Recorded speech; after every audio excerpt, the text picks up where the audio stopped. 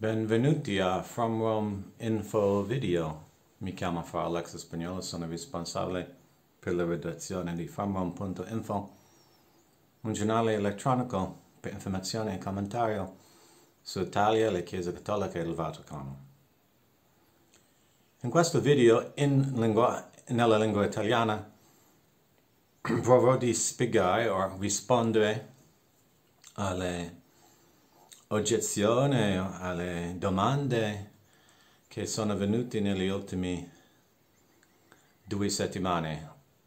Purtroppo so, perché sono avuto un raffreddore molto forte, non potevo uh, dedicare il tempo per fare una risposta in italiano in questi giorni, anche se in inglese a fromon.info ho già scritto 4, 5, 6 articoli su queste cose in inglese. Quindi per una spiegazione più profonda usare Google Chrome e andare a quei articoli e leggerli.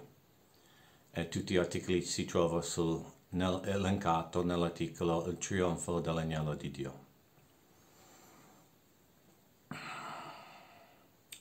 Che vuol dire essere cristiano? Essere cristiano è in, in, primo piano che siamo discepoli di Gesù, che crediamo che in tutto il suo insegnamento e nella sua divinità e quindi nella sua onnipotenza. Riconoscendo che Lui è il Figlio di Dio incarnato e lui è il capo della Chiesa. E Gesù, il figlio di Dio, non è sceso dai eh, cieli per farsi un bimbo nel grembo della Madonna, per glorificarsi, per vantirsi. È venuto per salvarci e quindi ha fondato l'unica vera religione che è una religione di salvezza. E Dio in umiliarsi, in divenire un uomo, in divenire uomo, ci ha lasciato un esempio che umiltà e amore deve reggere le nostre vite. Nella Chiesa Cattolica c'è una gerarchia uh, di responsabilità. In un certo senso siamo tutti responsabili per la Chiesa in, in quanto dobbiamo avere carità e cercare la salvezza di tutti. Ma di fatto nessuno ha la responsabilità per tutta la Chiesa perché noi singoli hanno nessuna capacità di salvare tutti nella Chiesa. Proviamo di fare il nostro dovere davanti a Dio e così contribuiamo uh, e confluiscono uh, tutte le nostre azioni per la salvezza di tutti. Ma non possiamo salvarci. Gesù è la nostra salvezza. E Gesù è un buon pastore che capisce quanto debole siamo. Quindi ha creato, ha stabilito e ci ha donato i sacramenti, i sette sacramenti per la nostra salvezza. Se viene qualcuno a dire che i sacramenti non sono necessari per la salvezza, dobbiamo riconoscere che quello non è un discepolo di Gesù, ma una profeta falsa. Nella Chiesa anche Gesù ha dato autorità a certe persone, non a tutti. Questa è la cosa di distinguere la vera Chiesa, la Chiesa cattolica, da tutti gli altri che non vogliono riconoscere la volontà di Gesù uh, nelle sue ordinanze per la Chiesa. Ha dato autorità a San Pietro, ha dato autorità ai Apostoli, che hanno lasciato loro autorità ai Vescovi, e i Vescovi incaricano i sacerdoti con un po' di loro autorità. Noi che non siamo sacerdoti non abbiamo l'autorità di sacerdoti e voi che siete sacerdoti non avete l'autorità dei vescovi. e voi che siete vescovi non avete l'autorità del Santo Padre. E il Santo Padre non ha l'autorità di Gesù Cristo. Quindi se riconosciamo che uh, Gesù ha parlato in verità nel momento della sua ascensione, quando ha detto tut, tutta l'autorità uh, in cielo, in, nei cieli e nella terra mi sono uh, mi hai dato. Dobbiamo riconoscere che lui di, decide chi regge nella Chiesa. E questo è un punto molto importante di riconoscere. E questo è come imitiamo la Madonna, che non ha mai rubato l'autorità da nessuno era sempre sottomessa. E quelli che dicono cento rosari ogni giorno e hanno immagini di uh, Madonna dappertutto sulla loro persona e non vogliono sottomettersi all'ordine eh, gerarchico nella Chiesa cattolica, non sono figli della Madonna e non hanno vera devozione alla Madonna che ha detto fa tutto ciò che lui ti dirà. E Gesù ci ha lasciato parole molto importanti nella Chiesa e dobbiamo credere tutte le parole di Gesù. Quando lui dice a, a, dice a San Pietro, usando il suo nome um, Natale, Simone, Simone, Satana ha voluto non solo per l'italiano che si fa con Cutico quando si separa il brano del chicco. Tutti voi, cioè voi apostoli, ma io ho pregato per te affinché la sua fede non fallisce mai. E quando tu sarai convertito, confermi, confermi i tuoi fratelli. Se crediamo Gesù è Dio, è figlio di Dio, capiamo che e riconosciamo che uh, la preghiera di Gesù è la preghiera del sommo sacerdote della Chiesa cattolica, il capo della Chiesa, e che il Dio Padre concede sempre ciò che Gesù chiede nella preghiera. Sì, è vero che Gesù ha meritato la nostra salvezza con la sofferenza e con il suo sangue nella passione, ma ha ottenuto la nostra salvezza con la sua preghiera. Padre, perdon- perdonali, non sanno che fanno. E Gesù ha pregato altre cose sulla croce, ma in questa parola di Gesù possiamo capire tutta la preghiera del nostro sommo sacerdote. E nel Testamento Nuovo Gesù uh, fa precisione sul fatto che ha pagato per Pietro e suoi successori, come tutti i padri della Chiesa e dottori della Chiesa capiscono queste parole di Gesù.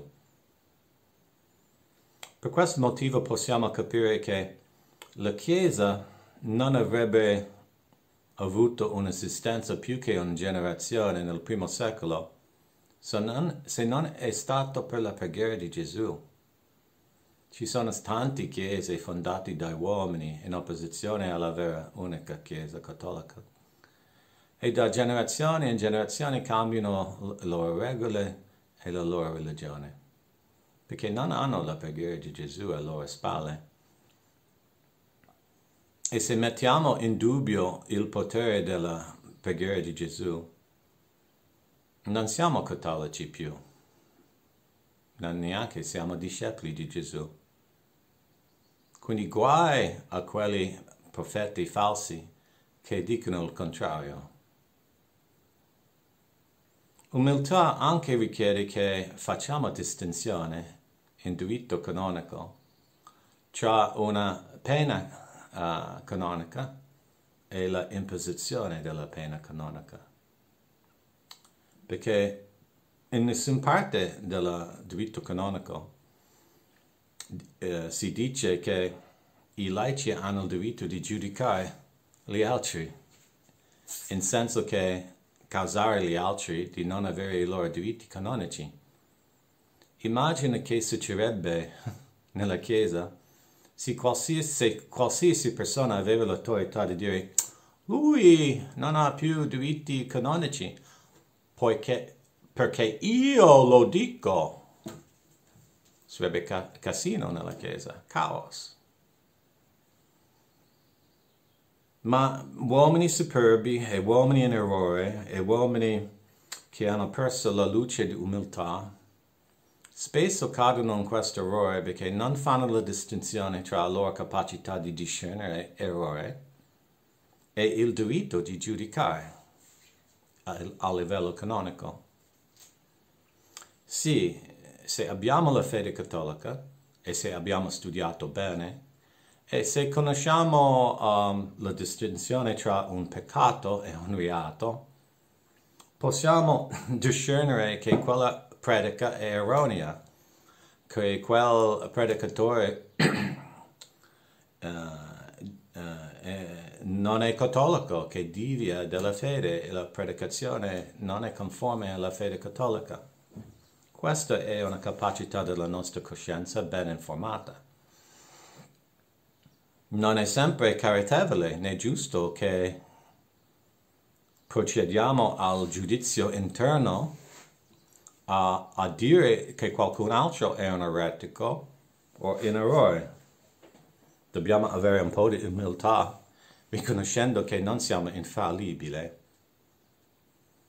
E poi dobbiamo capire, e molti non, lo, non capiscono proprio, che c'è una distinzione tra il peccato il reato e la imputabilità di un reato. Se un ragazzo di otto anni dice ma Dio è uno, non, è tri- tri- tri- non, è, non, c'è, non c'è Trinità, non diciamo che questo ragazzo è un eretico, presumiamo infatti che è ignorante e ci vuole istruzione. cioè che capisce bene che Dio deve essere uno in essere, ma non ancora capisce che vuol dire essere trino.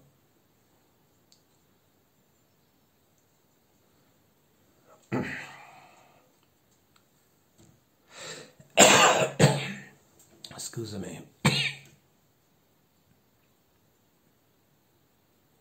Ma se siamo superbi e presenziosi, non vediamo la distinzione tra il mio giudizio e il giudizio della Chiesa. E questo è l'errore di tutti i sedificantisti,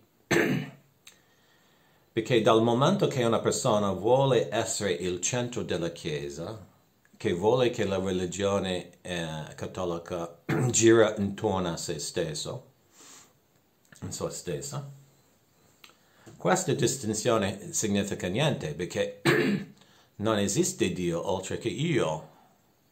E quindi io ho il giudizio. Viviamo in un'epoca di egoismo diabolico che è tanto uh, diffuso, ci sono molte persone di questo tipo, specialmente in rete sociale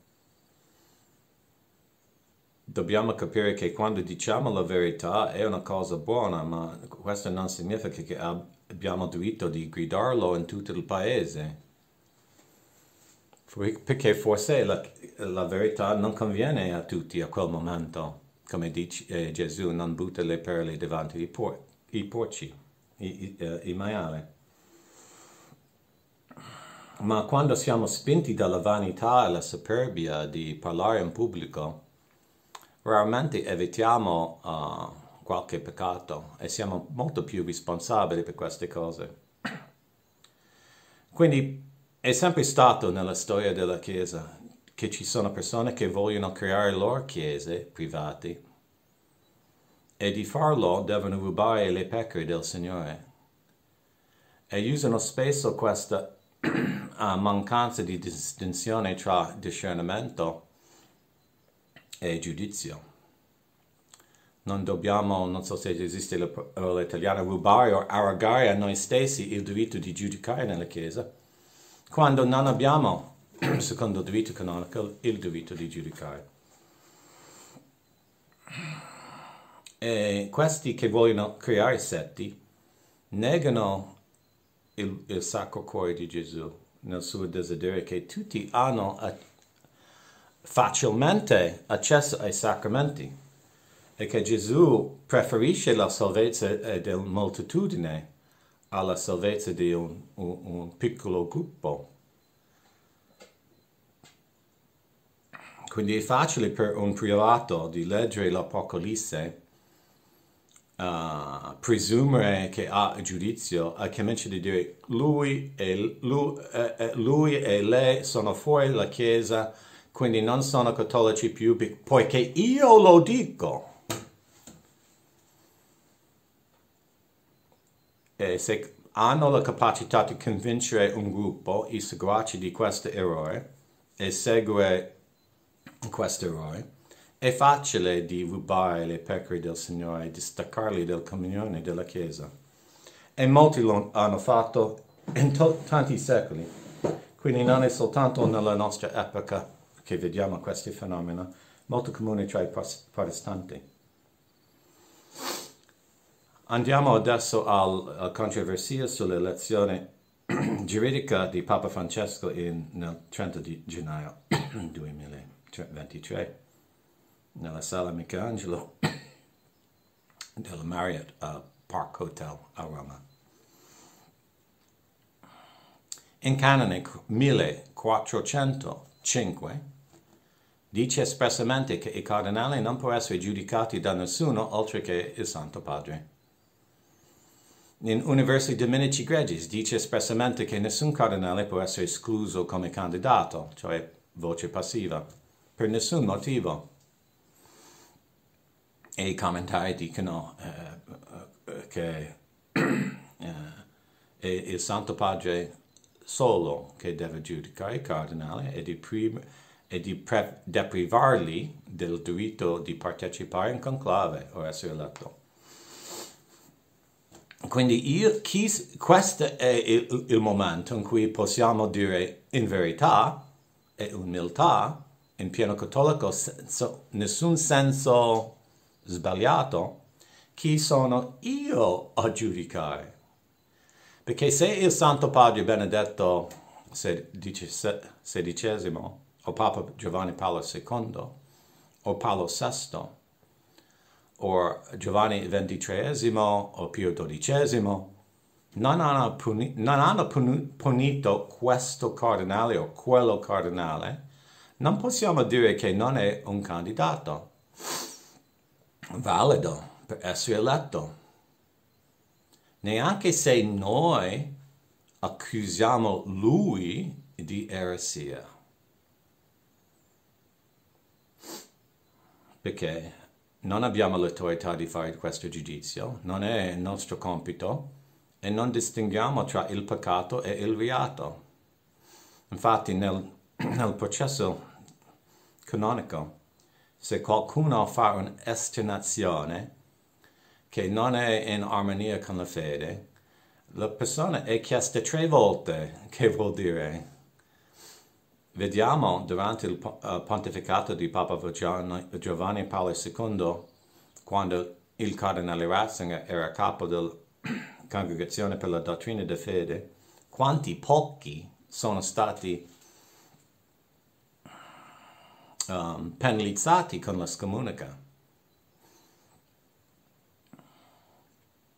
Al di sopra di questo in canonico, la pena per eresia ha di fare con negazione di dottrine confermate dalla Chiesa in concilio del Magisterio Solenne. Non tutte cose nella uh, Bibbia sono penalizzate a livello canonico per eresia. Per esempio, se qualcuno nega che il cane di Tobia ha fatto così con suo la sua coda quando ha visto Tobia ritor ritornare da Persia, secondo San Tommaso è eresia e, e secondo San Alfonso è eresia, cioè il peccato di eresia. Ma in diritto canonico non è il reato di eresia, perché la Chiesa non ha mai definito in concilio che si deve credere quella cosa. Infatti, durante la storia della Chiesa, il Magisterio ha, ha, ha obbligato la fede cattolica in pochi punti. Per questo motivo non si può dire che San Tommaso è stato un eretico, poiché ha negato la concessione immacolata. Perché allora, in quell'epoca, non è stata definita. Adesso lo è. e quindi si deve crederlo, non si può fare la stessa negazione come San Tommaso. Quindi l'oggezione quasi comune, universale di molte persone è Papa Francesco non può essere eletto perché è stato eretico, e eretici sono fuori la Chiesa, quindi non sono uh, candidati validi. E spero che ho spiegato bene perché questo argomento che sembra verace è infatti fallace. A livello canonico non ha nessuna ragionevolezza ma soltanto un uomo umile può capire ciò che ho detto. Qualcuno che è veramente seguace della Madonna, che sa che la Chiesa non è un gioco che gestisco io, ma è un ordine, una istituzione gerarchica in cui Gesù sceglie chi regge la Chiesa in, in cui Gesù decide e ha deciso chi ha l'autorità nella Chiesa. E questa autorità nessun uomo ha a cagione della sua santità personale o a cagione della sua fama uh, mediatica. Viene soltanto dalla uh, consacrazione episcopale e la missione canonica. Quindi, uh, altre oggezioni, San, San, Pietro ha lasciato alla Chiesa romana il diritto di leggere sul vescovo. Questo si eh, eh vede in tutta la storia dell'elezione del Santo Padre a, a Roma. Molte persone fuori la Chiesa romana non lo credono e ortodossi hanno contestato questo per secoli. Ma questa uh, fede appartiene alla tradizione apostolica nella Chiesa romana e se un cattolico non lo crede è impossibile rimanere in comunione con la Chiesa perché verrà un giorno in cui lui decide che il Santo Padre non è il Santo Padre e non è lecito di dubitare l'elezione valida di un Santo Padre. L'unico fatto canonico o fatto che possiamo canonicamente dubitare senza fare reato o presunzione è quando un santo padre fa una rinuncia che è invalida perché di quell'atto nessuno è giudice.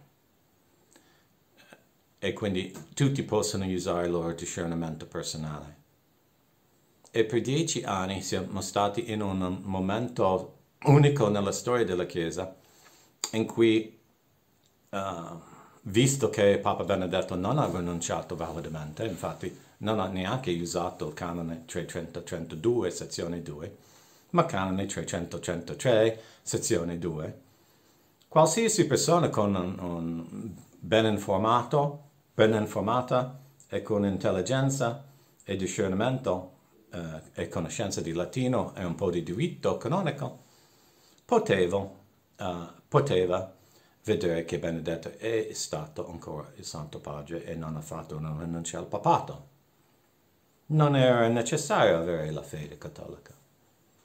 Ma la fede cattolica è necessaria di riconoscere qualcuno è validamente il Santo Padre, perché deve riconoscere come giuridicamente valida l'elezione e questo si fonda sulle parole di Gesù. Ciò che tu leghi sulla terra sarà legato in cielo. E la decisione di San Pietro di concedere questo diritto al, alla Chiesa romana. Non ai vescovi della Chiesa romana, non al clero della Chiesa romana e non ai laici della Chiesa romana, ma alla Chiesa romana. E questa decisione San Pietro è stata più prudente perché se Gesù voleva il successore di San Pietro in perpetuo nella sede apostolica, si deve lasciare una regola che è facile da osservare in ogni secolo futuro. E per questo motivo San Pietro non ha lasciato regole. Ma vediamo tra i duemila anni della storia della Chiesa Cattolica a Roma le condizioni per una lezione valida. Cioè, sempre dopo la morte di un vero Papa, che aveva il Munus Petrino, sempre um, con uh, un'assemblea dei fedeli, è sempre una lezione con la maggioranza, un, una, unanimità, non so come si dice in italiano, unanimo. Era necessario avere certi numeri di clero? No. Era necessario avere certi numeri di laici? No. Il Santo Padre poteva creare una legge che specifica quali sono i elettori? Sì.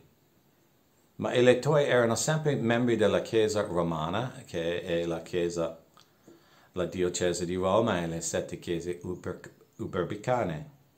Se ne neghiamo che il clero e i fedeli delle chiese uberbicane possano partecipare a questa elezione, dobbiamo mettere in dubbio tutte le elezioni papali del IV secolo fino al presente, perché quasi sempre quando è stato un alleato del vero Papa, il cardinale di Ostia era nell'elezione. In tempi antichi hanno cancellato i documenti di identità per vedere che tutti questi sono residenti di queste diocesi? No, perché non esistevano questi documenti.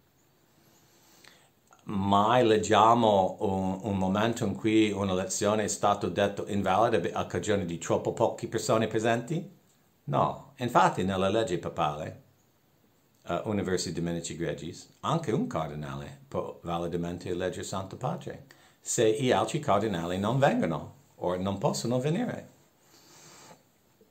Quindi uh, quelli che vogliono dire che si deve essere uh, una quantità di, uh, di, elettori fanno un argomento nuovo che non esisteva mai nella storia giuridica della Chiesa. È stato necessario che tutti nell'assemblea facciano una professione di fede, non è stato mai fatto una professione di fede in queste assemblee, assemblee dei fedeli nei primi mille anni, in quanto risulta della, della, della, dei documenti, monumenti storici. L'elezione deve essere fatta subito? No. Può essere uh, spostato se c'è un motivo grave. In, 2000, in 251 è stato spostato 14 mesi perché sotto un periodo imperatore Deci, uh, Deci, Decio, Decius uh, non è stato sicuro di fare un'assemblea perché i cattolici sarebbero stati, massacrati. Ma questo significa che qualcuno fuori la, la Chiesa romana può decidere quando è il giorno valido o invalido di fare un'assemblea? Ovviamente no. Nessuno fuori la Chiesa romana ha ha autorità di determinare la validità dell'elezione. Nessuno ha l'autorità di determinare quando e non quando l'assemblea può capitare. Ovviamente quando la Chiesa Cattolica a Roma non è sotto la delusione di, o il conflitto di Papa e Antipapa, eh, sarebbe normale che i, i preti dei sette grandi basiliche fanno l'annuncio. Ma quando sono tutti seguaci di un antipapa, chi fa? È, San Pietro non ha lasciato regola. Sufficiente c'è l'invito pubblico a tutti. Quindi tutte le oggezioni, oh, l'oggezione più assurda, l'elezione non può, non può svolgere in un hotel. Ci sono state elezioni dei Santi Padri in palazzi, in castelli, in piazze, uh, in, uh, nella, uh, in, in, luoghi privati, anche segreti. Non c'è nessuna regola dove si deve svolgere l'elezione per Santo Padre. E quelli che lo dicono uh, mostrano uh, come persone non serie e assurdi. Perché non c'è nessun fondamento storico per tale esternazione. Quindi, che altro si può dire? Oltre che quelli che hanno riconosciuto il modo di elezione come valido, prima elezione, mostrano se stesse giovanili uh, quando dicono dopo l'elezione, a cagione solamente del, dell'esito, uh, che l'elezione è stata invalida. Immagina che succederebbe, che succederebbe nella Repubblica Italiana se dopo ogni elezione qualcuno dice elezione invalida perché il vittore non è, non è stato l'uomo o la donna che ho scelto io. È una cosa ridicola e vergognosa per un sacerdote di sostenere o insegnare ai fedeli. Non neanche uh, risponde alle accusazioni interamente false e calunnie che dicono che questo è stato organizzato da un potere estero o un agente del potere estero. Questa è soltanto invidia che cerca una, una menzogna per sostenere la sua superbia. E poi una parola finale a tutti i miei conoscenti in Italia. nessuno, nessuno di qui mai mi ha chiesto la mia spiegazione, prima lezione o dopo lezione, ma mi hanno cancellato dalla loro vita. Io ho avuto sempre grandissimo rispetto e ammirazione agli italiani e al loro livello di umanità, ma in nessuna nazione del mondo che ho mai incontrato tanti, tanto, tanto grande numero di persone che hanno tanto poca umanità di cancellarmi dalla loro vita senza neanche parlare con me, a causa di accusazione in pubblico contro contro me stesso, il mio carattere e i miei motivi, senza neanche chiedermi, dopo una conoscenza di uno, due, tre anni, che, che è stato il narrativo secondo me almeno quindi adesso ho imparato una grande verità sulla, sulla, sulla vita, che si deve vivere soltanto per Dio. Si deve cercare soltanto essere amato da Gesù Cristo e che uh, l'amicizia umana non vale tanto e che molte persone che si vantano come cattolici, come romani e come mariani sono persone false almeno non hanno poco intenzione di osservare queste parole. Quindi questa è la mia risposta. Io riconosco Papa Francesco come Santo Padre valido. I cattolici romani hanno letto eretico Eugenio e, e, e, e, dal momento della sua elezione convertito alla fede cattolica. È morto un santo, un Papa Eugenio I in, in 964 hanno uh, acclamato Leo VIII, l'antipapa, e da quel momento la Chiesa riconosce lui come vero papa.